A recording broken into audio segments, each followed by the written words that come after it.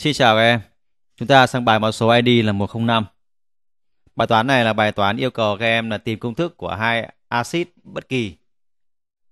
Ở đây người ta cho thông, thông tin là rõ một chút là axit này là no và đơn chức, ngon rồi, công thức luôn. Axit thứ hai là axit no và hai chức, công thức luôn.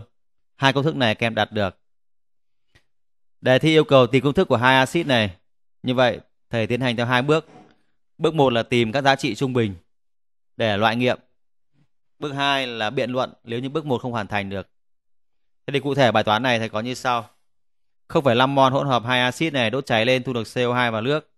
Có số mol CO2, có số mol nước, biết rõ số pi của từng chất một. Vậy thầy dùng quan hệ mol lấy CO2 trừ nước thì ra số mol của axit no hai chức có pi bằng 2. Vậy bằng 0,2 mol. Tổng là 0,5 mol thì suy ra axit no đơn chức là 0,3 mol. Để tìm N và M, thầy chọn phương chọn phương pháp là biện luận. Vậy thầy bảo toàn carbon, thầy biện luận ra N và M thì N của thầy bằng 3 và M của thầy bằng 2. Công thức của hai axit là C3H6O2 và C2H2O4. Đề thi yêu cầu là gì? À, tính V của CO2 thu được khi cho phản ứng tác dụng với Na HCO3.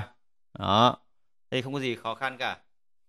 Đầu tiên là thầy lấy 27,3 là khối lượng của Z chia cho khối lượng của Z lúc ban đầu đem phản ứng. Khối lượng của Z lúc ban đầu đem phản ứng các em tính được luôn lấy 0,3 nhân m lớn là 74 cộng 0,2 nhân m lớn là 90. Các em chia ra này thì xem xem nó gấp ở cái phần 2 này này, nó gấp bao nhiêu lần phần 1. Đó.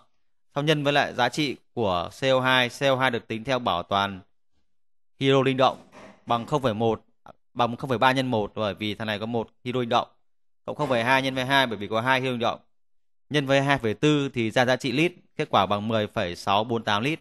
Đáp án hãy chọn là C.